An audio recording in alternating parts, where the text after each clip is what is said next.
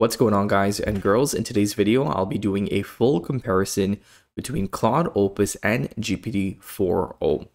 So essentially what I'll be doing, I'll be using the same prompts, the same methods to write the same article, and then I'll be comparing the output quality. So the prompt in which I'm using here is my low AI SEO prompts. As you can see, I tell the AI to write following a specific set of instructions to write more human-like, and then I also tell it to write in an SEO specific style to write SEO optimized content. This prompt is going to be in the description below today's video. Once you enter your email, I'll send you over these prompts for completely free. So I am using, as I mentioned earlier, GPT-4o and Claude Opus, which is the best models currently out from OpenAI and Anthropic. So what I did was I first went ahead and generated our outline. So if you take a look at the prompts, this is going to be your system prompt which writes in low AI and also writes in SEO optimized format. And then below that is going to be our prompt for the outline, and that's the prompt in which we use to generate the outline. So I am writing about a specific topic for my niche, but if you wanted to do topic research, I want you guys to check out WriterZen. This is a um, tool that is currently on a lifetime deal on AppSumo. I've done a couple of reviews on WriterZen, so if you want to check that out, I will link those in the description below today's video. But essentially, WriterZen is going to be a suite of tools which allows you to do keyword research. So you can do topic discovery by entering keywords and then finding related keywords. You can also do specific keyword research like a um, traditional keyword tool like Ahrefs. You can see difficulty metrics, you can see search volume metrics and whatnot.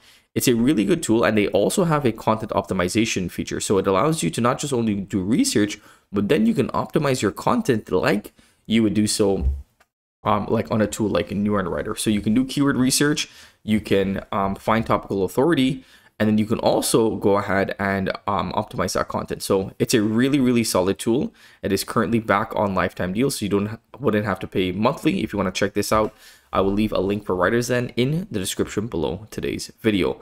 But let's continue. So once I generated the outline, then I used the prompt to generate the full article.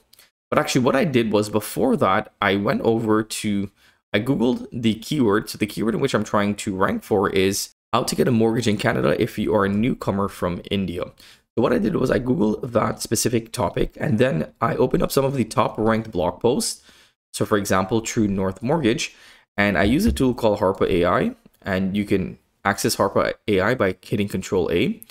And I'm using Chat GPT 4o and I asked to extract the main outlines from this article. And then once it is extracted the outline, I then took that um, outline and I prompted it to OpenAI and to Anthropic to take this outline and combine it with the outline that it created. This allows for us to create a much more um, comprehensive outline, and it also allows for us to create an outline that is following the the sort of the the format of the top ranked blog post because we generated our own outline using um, OpenAI or Anthropic, but then we combine that outline with another outline. And you can do that for as many outlines as you like. That really allows you to be very comprehensive in your outline, which just then allows you to write a much more detailed um, article. So once I combine the two outlines, then I use my prompt to generate the full article. And what I did was I also use Neuron Writer. So I went over to Neuron Writer, and this is also a content optimization tool that has a lifetime deal on AppSumo if you want to check it out. And I searched up my keyword, which is how to get a mortgage in Canada if you're a newcomer. And then what I did was I copied over all of the terms. So all of the terms in which we need to include within the H1 and throughout the article, I copied over those terms. And then I told the AI when writing, also include these terms naturally throughout the article. And I did the same thing, as you can see here, I did the same thing for um, Claude as I did in OpenAI or using GPT-4. So once I did that, then I went ahead and generated the full article. And this is what the first um, draft looks like. So let's go ahead and copy over the article that we get back from OpenAI or using GPT-4o. Okay, so how to get a mortgage in Canada if you are a newcomer from India. Introduction, can newcomers buy a home? We get a nice little table there, some lists, more lists, some information, and a conclusion. And we also get some additional research uh, resources here, which we will double check to make sure that those articles, um, sorry, those links do work. So this is a decent output. I don't like when it writes content and only adds in about one or two lines, especially at the bottom here, when it's talking about, you know, sort of big topics. I would like it to be a little bit more in depth. So this again is GPT-4. And now we're going to do the same thing for the content that we got back from Claude. So the article from GPT-4o was about 1400 words. And this article is already a lot longer uh, from Claude Opus. So from Opus, this is the content in which we get back how to get a mortgage in Canada if you are a newcomer. Can newcomers from India buy a home? And then we get a nice link there. We get some data. We get some tips. We get some incentives and a conclusion. Just by taking a look at this in terms of the length and just how complete the article looks like, I would have to go with Claude Opus just in terms of just looking at it from an objective point of view.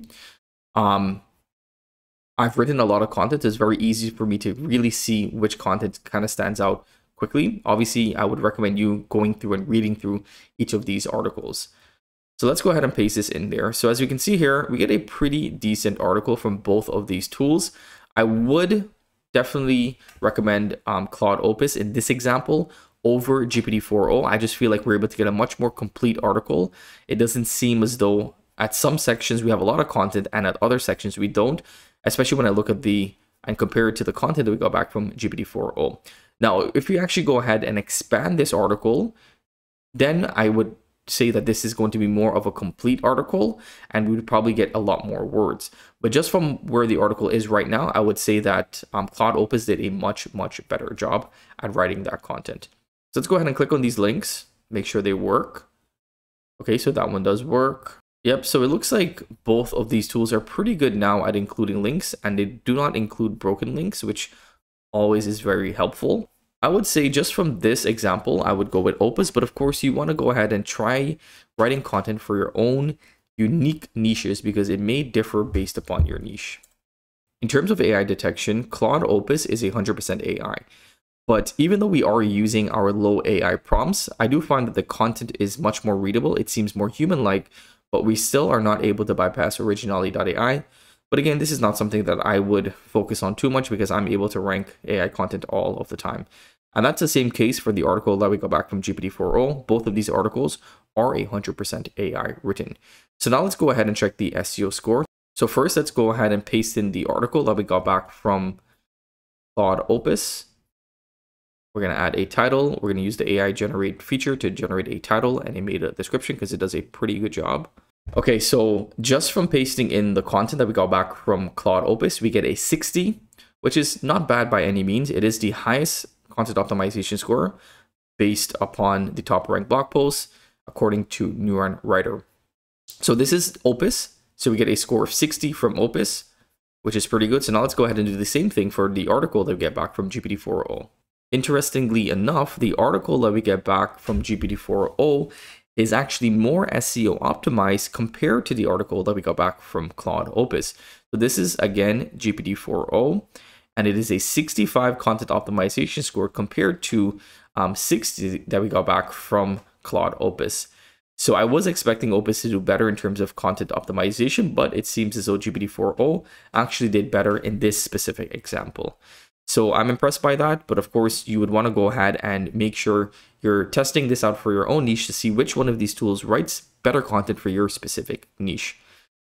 So in terms of originality score, both of them were 100% AI detected. In terms of SEO score, GPT-4o was a little bit better at giving us a score of 65 out of 100 compared to 60 out of 100 from um, Claude Opus. In terms of readability, we get a score of grade 8, which is actually really good from GPT-4o. So it is very, very readable. Um, I think that has to do with the prompts that we use to write in a human-like manner. And again, surprisingly enough, we get a score of grade 11 in terms of readability from Opus. So Opus is actually less readable compared to GPT-4o. So this is very, very interesting because usually in my testing, GPT-4 usually doesn't do as well when it comes to readability compared to Opus. But again, in this example, we see that GPT-4o is actually able to do much better uh, for this specific example in terms of readability. So there's a couple of pros and cons between using both of these tools. On one hand, Claude Opus is really good at writing in-depth articles with data points, making it more up to date, and just really writing in the essence of the article and answering the, the queries within the article much better, especially when you're just writing the first article and not expanding it compared to GPT-4o. But as we can see here, GPT-4o is able to follow instructions a little bit better uh, we're able to get a much better readability score and also we were able to get a much better SEO score. So from this test, you can conclude that if you want to focus on readability and you want to focus on SEO, then maybe using GPT-4o may be better. But if you want to really focus on the quality of your articles and information in your articles, then Claude Opus may be a better option for you. But I hope that you guys enjoyed this quick comparison. I hope that you learned something new. If you did, let it be known by giving us a big thumbs up.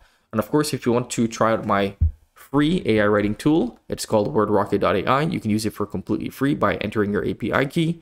We are working on integrating Claude Opus and GPT-4o, but right now we have some pretty good um, content quality, so you can try it out for yourselves. I hope that you guys enjoyed today's video, and I will see you in the next video.